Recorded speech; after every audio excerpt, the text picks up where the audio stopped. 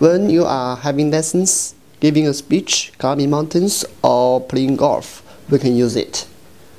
Now let me show you how to use it. We can see there is a button. Pressing this button, we can turn it on. We can see there is a green dot. And now I push the knob back. We can see the knob is uh, expanding. And it, now if I press it again, dot will be flashing. We can use the code to cover hip. And now I push the knob back.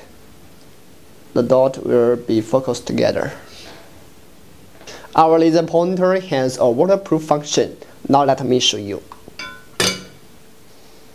So we can see even in the water, we can see it clearly still.